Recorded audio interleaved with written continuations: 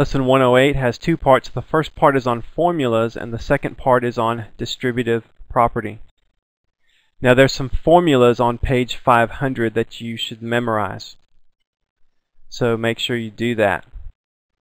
Something to think about here is that formulas, those are like evaluate problems. Like the problems we did in lesson 106. You're just substituting numbers in place of the letters. Let's go ahead and do some practice problems. I want you to find the area of this triangle in problem A. Well, the first thing you need to do is find the formula for the area of a triangle. And that is area equals base times height divided by 2. That's the formula for the area of a triangle. That's in that table in this lesson. So what you do is you just substitute in. The base of that triangle is the bottom of it. That's what the B stands for. So that's 8. Its height, that's that dashed line perpendicular to the base. That's showing how tall that triangle is. It's 3 inches tall. So we say 8 times 3 divided by 2. Now let's evaluate that expression. We would say 8 times 3 is 24 divided by 2.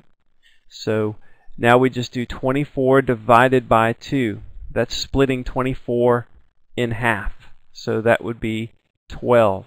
And let's just write that down here. 12, and we would say square inches. 12 square inches is the area of that triangle. So formulas are like evaluate problems. We just substitute the numbers in where the letters are in that formula. The one difference between a formula and an expression that we evaluate is a formula has an equal sign and it's representing a particular thing like A for area equals BH over 2, base times height over 2. Look at B. I've shown a square there with a side of 3 centimeters. What is its perimeter and what's its area? Well, let's just get our formulas first, and let's just write those down. The perimeter of a square, the formula is 4s. 4 times the length of a side. All the sides are the same length on a square, right? So we know the perimeter is just 4 times the length of one side. Since all four sides are the same, we could just do 3 plus 3 plus 3 plus 3, but it's the same thing as saying 4 times s. So we just say 4 times 3 equals 12 centimeters. Substitute that 3 in for the s. Now the area is equal to s squared. Side times side is same thing as side squared. So we're just doing 3 times 3 or 3 squared, which equals 9. So in a problem like that that has an exponent, just leave it all the same. Just put the 3 in where the s was, and then you still have the squared value there. 3 squared. 3 times 3 is 9 square centimeters.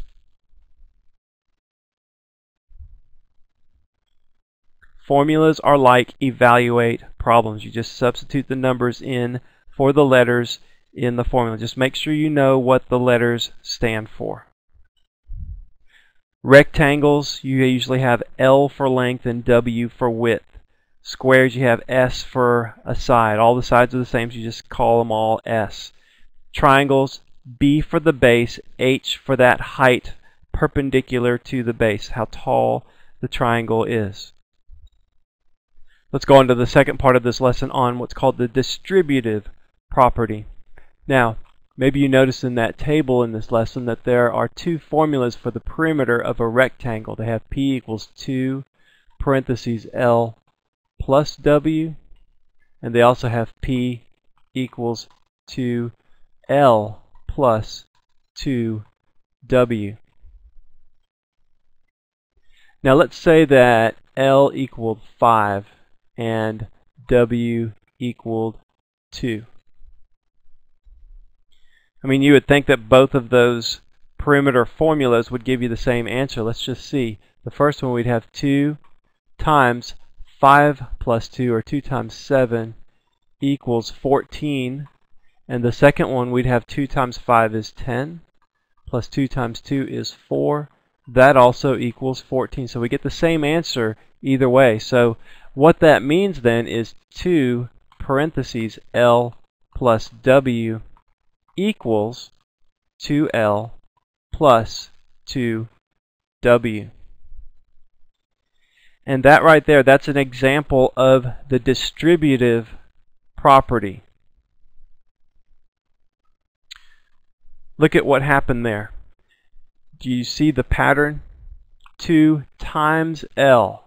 So there was multiplication there, plus 2 times W, another multiplication. That's how you got the 2L plus 2W. That's why they're the same. You're distributing the 2 over the L and the W. Look at C. I want you to use the distributive property to do that multiplication. Don't just do 3 times 29. Do the distributive property. So that means do 3 times 20. That would be 60. Plus 3 times 9. That would be 27. And that equals 87. So something to consider here when you have a number or it could be a letter too outside parentheses like that. There's no operation symbol there. There's no plus or minus or multiplication or division symbol right where I put that green arrow. There's nothing there. There's just 3 and a parenthesis.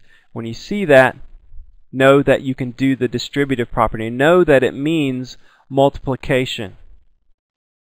There's no symbol there. It means multiplication. You're doing 3 times 20 plus 3 times 9, or 2 times L plus 2 times W.